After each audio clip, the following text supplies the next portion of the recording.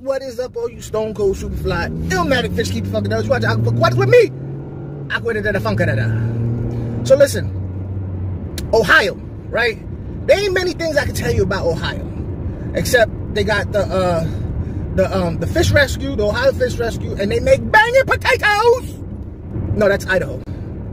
But um, they do have a cichlid club out there in Ohio that recently did something out of the box. Now, I don't want to say, I don't want to take credit or nothing, but uh, I've been saying for a while now that um, fish clubs need to step outside of their comfort zone and step into the brave new world um, of, of this social media thing. And they, they have done with Facebook and all that, um, but it, it, was, it was more for announcements, you know? Well, Ohio Cichlid Association recently, I did a video about it, and so did Scott and King from King Queen Cichlids did a video about it, um, about how Ohio Cichlid Association, um, they went all out with this uh, social media thing, and they actually did a show, which, as you know, because of the COVID-19, all the shows have been canceled. But they was like, no, we're gonna do something. And they put together a virtual online um, cichlid and, and one of the things was that one of the most popular things about shows, at least in my opinion, even though I've never actually been to one, but it's the one thing that makes me want to go to one, is their cichlid or fish competition. They're fish shows. But they put one together. And it was awesome. If you missed out on it, I'm telling you, you, you next year, man, next year you got to get in on it when, when you can because there were so many opportunities for people who have never been in a fish competition to do it from the comfort of their own home entry was easy. You don't have to drive nowhere. You don't have to pay for um, hotels or gas or food or nothing like that.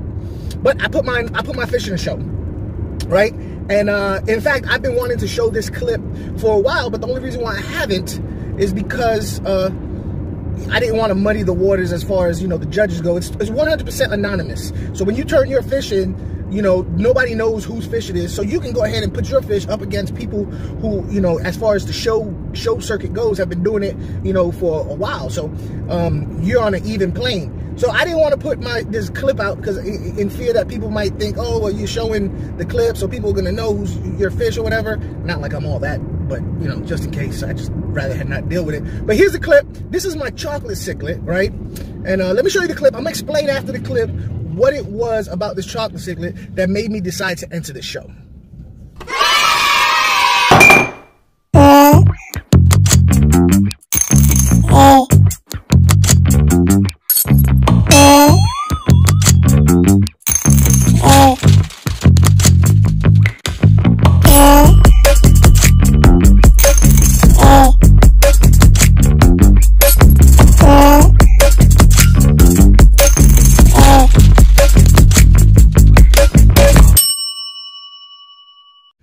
Okay, so I always get so many compliments about my chocolate cichlid. Now she, it's a female. Um, it, like most fish, the females don't grow as big as the males. And I was hoping, because she is on the little side, she is on the shorter side, um, to be in a show, but I was hoping um, that her, um, you know, her tenacity, because one of the one of the uh, criteria is one of the judging points is, um, you know, um, deportment. And uh, this female cichlid is all over the tank. And normally when I see um, videos or, or, or, chocolate cichlids um, on videos, they, they, they're always hiding and very timid. Whereas as mine is not at all. And my thought was, okay, this is a beautiful fish. Uh, where she's a little bit smaller, the fact that I would imagine most shows don't have chocolate cichlids as entries because they do not show well. They do not transport well. They they, they get real shy and they, they color down and they hide. And that's why I would never be able to show this fish in real life because if I took it out of its its its, its environment and somewhere else, it, it would it would just it would not show well. So this was a perfect opportunity for me to show my fish in all its glory. So I entered this. Um, She's got yo, the colors is there, her tenacity is there, all that, all that, all that's there. The only problem was, in my opinion, um, I don't know yet because I haven't got the the the, the um the printout as to what they said on my fish. Um, I, I don't know.